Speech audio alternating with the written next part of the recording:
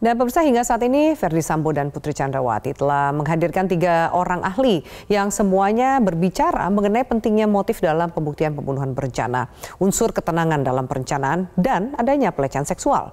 Sejauh mana keterangan para ahli bisa meyakinkan hakim, lalu juga apa tanggapan dari keluarga Yosua. Kami akan membahasnya bersama kuasa hukum keluarga Yosua, Martin Lukas, dan juga pakar hukum pidana Asep Iwan Iriawan. Bang Martin, Kang Asep, selamat malam. Selamat malam Mas Martin, selamat malam Mbak Afi. Selamat malam Mbak Afi, selamat ya. malam Kang Asep. Baik, saya akan ke Bang Martin terlebih dahulu. Apa tanggapan dari Anda sebagai kuasa hukum dari keluarga Yosua terkait lagi-lagi uh, kubus uh, dari Ferdi Sambo mengembangkan narasi motif kemudian juga unsur ketenangan, terutama digiring mengenai adanya pelecehan seksual. Apa tanggapan Anda? Ya, jadi gini, memang kalau melihat sesuatu itu tidak boleh menggunakan kacamata kuda. Nah kalau melihat sesuatu dengan kacamata kuda ya kita nabrak aja mau di depan ada got gitu ya, mau di depan hmm. ada uh, comberan ya masuk kita. Nah kalau kayak saya kaitkan dengan apa yang dimaksud oleh ahli tadi yang mengatakan bahwa dengan tidak adanya visum belum tentu tidak ada pidana, betul saya setuju 100%. Tapi kalau mau membuktikan pemerkosaan ya wajib ada visum. Kita berbicara bukan peristiwanya tapi membuktikannya Nah, jadi tolonglah kita ini diberikan kepintaran oleh Tuhan kita ya, bukan untuk membuat uh, framing ataupun mengkaburkan peristiwa. Ya, saya tidak mengkritik kalian yang bersangkutan, tapi mohon maaf, ya jawabannya juga mungkin, mungkin, mungkin. Itu bukan pendapat kalau mungkin. Hmm. Yang saya tahu kalau mungkin itu lagunya Noah ya, mungkin bila nanti gitu. Nah, janganlah kita berpendapat dengan yang mungkin-mungkin ataupun membuat framing-framing yang justru membingungkan. Coba baca pasal 1 angka 28. Apa sih yang dimaksud dengan ahli? Seseorang yang memiliki keahlian khusus ya yang dapat membuat suatu perkara pidana itu menjadi lebih terang. Tapi kalau mengkaburkan, ya menurut saya ya itu perlu diragukan ya. Demikian. Oke. Baik, kita bahas satu persatu. Saya minta tanggapan dari Kang Asep. Soal bukti kekerasan seksual tidak perlu visum. Ada bukti yang lainnya. Seperti apa Kang Asep menanggapi statement itu? Dan bukti lainnya Ini, apa? Mbak Pi, ya. Hmm. Uh, uh, gini Mbak Pi, ya pertama bahwa namanya kekerasan seksual, perkosaan, penganiayaan itu kualifikasi pidana. Asep melakukan perkosaan, Asep melakukan penganiayaan, Asep melakukan pembunuhan. Itu harus dengan putusan hakim. Hmm. Selama tidak ada putusan hakim, kita harus menghormati ajas praduga tak bersalah. Ya, jadi kalau sekarang mengatakan itu ada, ya, tapi tidak ada putusan, apalagi tidak ada berkas, ya itu nggak bisa. Itu hukumnya dulu. Nah sekarang udah ikutilah. Anggaplah ada lah mohon maaf ya Mas Marbatin pada keluarganya almarhum. Anggap aja ada perkosaan itu ada pengenan itu ada pembunuhan itu ada. Ini hukumnya ya. Ya kan ya. ditutup oleh pasal 77 jadi ketika ini tidak jadi berkas tidak bisa dituntut tidak bisa dikatakan ada perkosaan ada penganiayaan ada pembantingan ya nggak bisa cara hukum. Jadi jangan mengatakan sesuatu yang itu bukan fakta hukum. Apalagi kaidah hukumnya itu harus berkekuatan hukum tetap harus melalui vonis orang menyatakan perkosaan itu, ya bayangin kalau saya di, ya bisa aja Mas Martin teriak-teriak ke mana-mana, tuh Asep perkosa, tuh Asep nganiaya. Dan kan kasihan Asep Iwan ini dituduh terus hmm. tanpa ada putusan hakim. Itu kaidah hukumnya dulu. Nah sekarang hmm. kalau sekarang dilarikan sekarang buat tidak perlu ada pisum betul maka saya tidak lebih dari Mas Martin tidak 100% 100 juta persen betul banyak orang yang diperkosa tanpa sekali lagi tanpa visum hmm. ya. Karena ya. mereka tidak melaporkan. Tapi kalau ini mau dijadikan alasan dia membunuh karena ada perkosaan ada penganiayaan ada bantingan tiga kali nah pembidana tadi perkosaan penganiayaan harus berbentuk berbentuk putusan hakim. Tidak boleh tadi dengan mungkin mungkinkah ada perkosaan gitu? Mungkinkah ada perkasaan gitu? Jadi itu kan mm -hmm. tidak boleh sekali. Itu orang hukum tidak boleh cerita itu. Ya jadi sekali lagi kan sering saya katakan kita lagi bicara mayat bukan bicara hasrat apalagi tentang bicara oke. okay. yang begitu baik Baik, kami juga sudah mencoba mengundang kuasa hukum dari Verdi Sambo, Rasa Malaritonang, namun uh, tidak bisa hadir dalam diskusi ini. Kita lanjutkan kembali. Ahli mengatakan bahwa Verdi Sambo membunuh Yosua saat kejiwaannya sedang tidak tenang. Statementnya adalah laki-laki yang normal mana pun merasa pasti akan terganggu dan marah. Seperti itu. Tanggapan dari Bang Martin, silahkan. Ya, makasih Mbak Alfi. Jadi gini, yang membedakan ya antara pasal 340 dan 338 kan adalah perencanaan ya, dengan rencana terlebih dahulu. Mm-hmm. Nah, sorry-sorry aja nih ya, kalau dari dakwaan jaksa dan dari saksi-saksi dan eh, bukti-bukti uh, yang disajikan kan memang unsur perencanaan itu sudah tergenapi ya. Namun yang ditafsirkan uh, ataupun yang diberikan pendapat oleh Bapak Said ya mengatakan bahwa uh, harus dengan tenang. Bagaimana sih mengukur tenangnya seseorang? Bagaimana sih mengukur emosinya seseorang? Ya, kan tidak bisa itu ranahnya abstrak ada di dalam pikiran. Nah, yang pasti yang bisa kita ukur adalah tindakannya apakah yang dilakukan itu spontan tanpa jeda waktu atau yang dilakukan itu uh, tidak spontan ya dan dengan perencanaan mengikut sertakan orang memilih alat ya lalu memilih tempat ya lalu merencanakan uh, rencana pasca kejadian nah kalau sudah tergenapi unsur tersebut itu beda unsurnya dengan pasal 338 yang mohon maaf aja ya ahli ya seperti ahli tadi sampaikan bahwa uh, apabila yang disampaikan oleh Ferdi Sambo itu perintahnya adalah hajar, ya hmm. maka Richard Eliezer yang bertanggung jawab ini kan juga melihat sesuatu dengan sepotong-sepotong dan menggunakan kacamata kuda seperti okay. seperti sudah ada pesanan gitu ya. Ini dugaan saya nggak apa-apa nanti kalau memang nggak terima silakan laporkan aja saya. Demikian seperti terima ada kasih. pesanan dari kuasa hukum maksud anda kepada ahli pidana yang dihadirkan? Dari siapa saja yang mungkin diuntungkan dari dari dari uh, pendapat yang bersangkutan ya dan mohon maaf ya, saya bukan bukan mencoba untuk membandingkan, tapi tadi saya pikir ya uh, beliau ini bisa menjadi pembanding ya, uh, karena kan ahli hukum pidana dan juga kriminolog. Saya pikir tadi bisa menjadi second thoughts lah untuk membuat hakim bimbang yang mana yang kira-kira secara keilmuan itu bisa dibantah. Apakah uh, ahli kriminolog yang dihadirkan oleh jaksa atau Bapak Said ini ternyata ya mohon maaf, saya kecewa gitu loh. Dan sampai saat ini tiga unsur yang disampaikan oleh Profesor Muhammad uh, siapa saya lupa yang ahli kriminologi itu tiga mengenai uh, motif sudah ada, lalu yang kedua psikolog forensik itu bukan bukti mhm. pendukung utama, lalu yang ketiga unsur perencanaan sudah tergenapi dan marasnya seseorang itu bukan tolak ukur uh, apa namanya tidak bisa melakukan suatu perencanaan. Atau tidak, tenang Demikian, atau tidak. Oke, baik. Saya minta tanggapan Kang Asep usai kumandang azan maghrib berikut ini. Kita ikuti dulu bersama dalam tindak pidana pembunuhan perbuatan sengaja ini maka harus ada perbuatan nyata yang dengan perbuatan nyata itu memang menimbulkan akibat atau menimbulkan kematian dan kematian ini kalau dalam tindak pidana pembunuhan eh, memang dikehendaki oleh pelaku kematian itu dikehendaki oleh pelaku ya jadi kalau misalnya uh, ada suatu peristiwa kematian itu tidak kehendak dikehendaki oleh pelaku lalu terjadi kematian, maka uh, dibutuhkan analisa yang paling mendalam apakah itu masuk kategori pembunuhan atau tidak. Nah, kaitan dengan pembuktian perkara ini. Tadi saya telah ketengahkan bahwa prinsip pembuktian kita dalam perkara pidana uh, bahwa apabila satu saja unsur dari pasal yang didakwakan, keseluruhan pasal yang didakwakan, satu saja unsur tidak terpenuhi, maka dengan demikian dakwaan dipandang tidak terbukti menurut hukum. Dan konsekuensi atau resiko hukumnya ketika dakwaan dinyatakan, dinyatakan tidak terbukti menurut hukum adalah terdakwa tidak dapat dihukum. Ya, itu tadi statement dari ahli pidana Said Karim yang kurang lebih menyatakan bahwa tewasnya Yosua bukanlah pembunuhan berencana karena tidak dilihat eh, adanya unsur berencana dalam peristiwa itu. Kalau sengaja harus ada perbuatan nyata dalam kasus pembunuhan dan dikehendaki pelaku. Tanggapan dari Kang Asep. Oh ya, satu lagi, saya bacakan statement dari Febri Diansyah. Ferdi Sambo tidak memiliki rencana untuk melakukan pembunuhan. Awalnya hanya ingin melakukan klarifikasi tetapi menjadi emosional saat melihat Yosua ada di gerbang. Silakan tanggapi Kang Asep yang pertama betul harus ada nyata. Ya yang terbukti kan ya almarhum Joshua meninggal. Kenapa? Ditembak. Ditembak oleh siapa? Salah satunya oleh Eliser. Kalau yang kedua boleh disangkalah, terserah udah yang kedua disangka. Atas perintah siapa? Ya perintahnya siapa? FS kan? Ya, hmm. ingin saya katakan sekali lagi perencanaan sekarang direncanakan tuh gampang kok ya. Nggak usah jauh-jauh ke Magelang, nggak usah jauh ke Sagulang, cukup di daerah situ saja di Kudayan Tiga. Kan suruh diisi barang itu, ya itu kan direncanakan. Kedua, kan ditawarkan suruh membunuh itu kepada siapa? Kepada Ricky. Cukup dua aja itu. Itu kan bukan direncanakan. Itu bukan hmm. dengan tenang gitu kan. Hmm. Nah sekarang, di, nah sekarang direncanakan tuh kan sekali lagi ya ada waktu dan jeda waktu. Jedanya juga cukup. Saya nggak usah ngitung jauh ke Magelang atau ke Saguling. Cukup aja di situ. Woi tembak, hmm. woi tembak. Nah sekarang kaitkan pertanyaan kedua.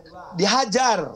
Nah, saya setuju tuh pendapat contohnya. Katanya makanan, konsum makanan dihajar dihabiskan. Ya iyalah, ya. kalau orang sudah diisi peluru ya diisi peluru kan, ya saya pasti dimakan. Nah dimakan tadi nyawa lah yang dimakan karena dikeluarkan peluru itu. Hmm. Itu yang perlu dipahami sekali lagi. Nah sekarang katakanlah kata dihajar, kita ikuti dihajar. Kalau dihajar sebelumnya ada kata berita ditembak, kemudian seseorang ditawarkan ya tidak mau. Sekarang mengatakan dihajar, nyatanya ditembak. Persoalannya katakan melebihi perintah Kan persoalannya kenapa itu dihilangkan CCTV? Kenapa barang bukti dihilangkan? Kenapa harus bikin skenario? Justru ketika saya perintahkan Martin hajar, tapi Martin tembak. Saya tembak Martin, saya tangkap minimal saya gegap Martin, saya bawa dia melakukan perintah Serahkan di luar itu kan. Hmm. Harusnya itu kan. Kenapa sekarang barang buktinya dihilangkan? Kenapa harus bikin rekayasa? Jadi hmm. kata dihajar tuh harus konsisten. Tapi saya ikutin aja lah. Kalau dihajar sekarang dia pakai pistol ya pasti nembak kan udah diisi peluru kan apalagi okay. kata katakan Elisir di doktrin jadi kalau sekarang mengatakan ya pasal 340 itu harus ada buktinya iyalah harus ada pembunuhan harus ada yang meninggal karena kan namanya hmm. juga dirampas kalimat bahasa Belanda dirampas atau dihilangkan tapi kan nyawa. mereka berdebat Kenapa? di unsur perencanaan atau tidak gitu Kang dan benarkah Ini. Sambo tidak bisa dipidana jika ternyata Barada Ella yang salah mengaktikan hajar dan tembak ini masih berputar di dua diksi itu Gini, kita buktikan aja 340 itu barang siapa? Orang. Yang jelas sepanjang tuh, jelas orang yang nembak. Sudahlah Elisir yang nembak. Tapi atas perintah siapa? Atas perintah Sambo. Makanya aktor intelektual itu tidak selalu berlumuran darah, tidak harus selalu melakukan perbuatan karena dia aktor intelektual, dia otaknya yang melakukan. Cukup otak yang bergerak, maka tanggung jawabnya lebih berat ya. Makanya yang disuruh bisa bebas, bisa bebannya bisa beralih. Itu yang mesti pahami. Nah, kalau sekarang masih berkelit tidak ada direncanakan, gini deh sekira saya ceritakan ya, direncanakan itu bahasa hukumnya saya kira hampir ahli semua sama lah, cuman uh, salah menafsirkan semua ya. Kalau misalkan. Ya. uh, ditanyakan lain ya. Sekali lagi ada jeda waktu. Waktu tuh nggak ada ukurannya. Bisa dua detik bisa tiga detik bisa lima menit ya. Hmm. dengan tenang. Nih kalau saya kasih contoh ya. Kan ketika tidak ditembak woi tembak woi tembak. Satu ya. Kedua perintahkan isi itu peluru makasih udah itu ditolak kesampingkan tapi kan hmm. sebelumnya ada penawaran untuk nembak ke Ricky. Bukankah itu ada rencana untuk membunuh? Cuma Ricky menolak. Tapi yang melaksanakan ada Eliezer. Eliezer. Itu yang paling sederhana gampang dipahami oleh publik. Nanti teori hukumnya mungkin nanti penasihat okay. hukum akan menguraikan masing-masing itu. Dan itu akan keluar. Sekali lagi, hati-hati ketika nah sengaja. Sengaja itu adalah perbuatan melawan hukum yang dia mengetahui dan menghendaki. Yang ketawa, tahunya dari mana dan menghendaki dari mana? Ya ketika nawarkan ke Ricky aja paling gampang ya Ricky tolak dia okay. tawarkan. Cuma yang mengeksekusi kebutuhan Elisir yang melaksanakan. Karena tadi hmm. di bawah teka, di bawah tekanan uh, tekanan yang objektif kalau istilah Risa itu kan. Karena apa? Situasi waktu yang tidak memungkinkan dia untuk berbeda dengan Ricky yang menolak karena ruang waktu yang berbeda.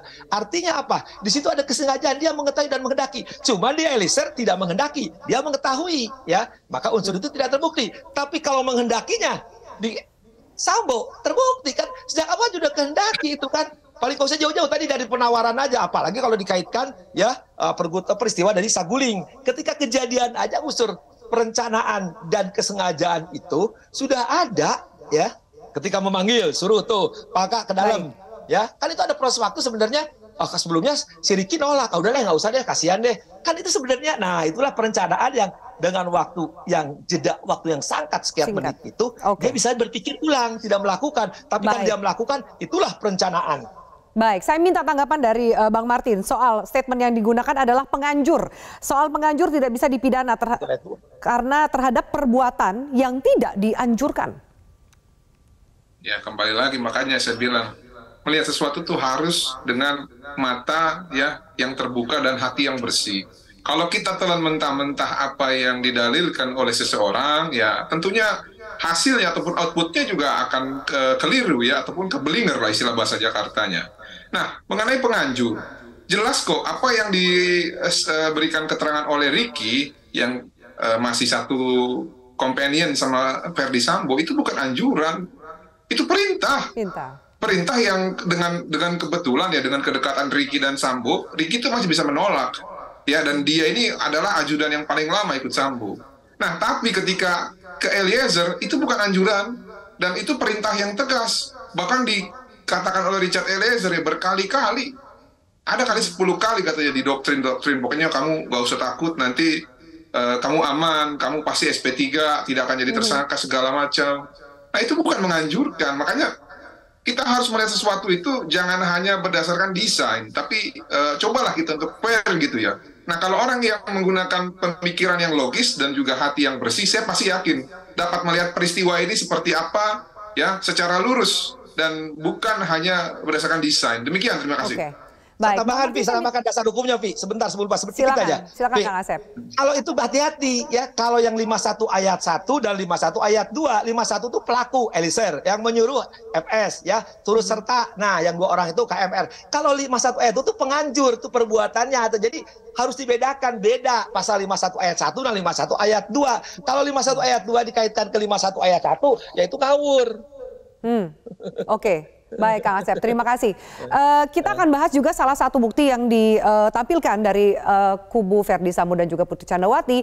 Ada narasi yang seolah-olah dibangun ketika menyampaikan sejumlah foto bahwa keluarga Verdi Sambo dan Putri akrab dengan mendiang Yosua dan para ajudan lainnya sehingga mungkin dianggap aneh jika Sambo membunuh Yosua kecuali ada perbuatan yang amat fatal yang dilakukan oleh Yosua. Saya minta tanggapan uh, Bang Martin, termasuk juga ada foto-foto di klub malam yang di mana salah satunya ada Yosua di situ. Silakan Anda tanggapi.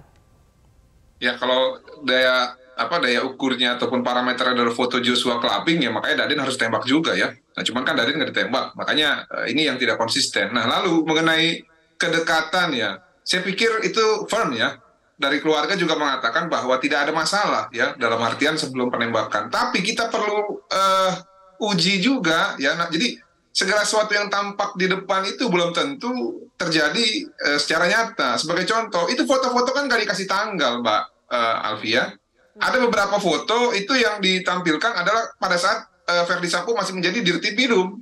Ya, apakah relevan? Manakala di tanggal 19 Juni ya Joshua itu sudah mendapatkan ancaman dan itu kesaksian Joshua langsung kepada uh, pacarnya. Makanya saya bilang, ya kita harus uh, bijak lah ya melihat segala, suatu hal gitu. Jangan mengeneralisir satu fakta kepada fakta-fakta yang lain. Kalaupun dekat yang emang emang kenapa? Nah, yang jadi pertanyaan sekarang adalah kenapa uh, ada informasi keliru yang disampaikan oleh istrinya sehingga membuat Ferdi Sambo itu marah dan walaupun marah menurut ahli kriminolog ya tapi marahnya itu adalah marah yang bukan spontan dan masih bisa membuat perencanaan terhadap pembunuhan almarhum Brigadir Joshua. Jadi kami berharap nantinya tuntutan itu adalah pasal 340. Demikian, terima kasih.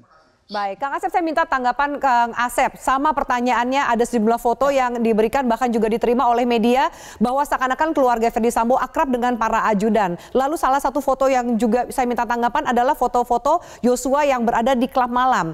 Silahkan Anda tanggapi apakah ini efektif sebagai langkah dari ya, kuasa ya, hukum?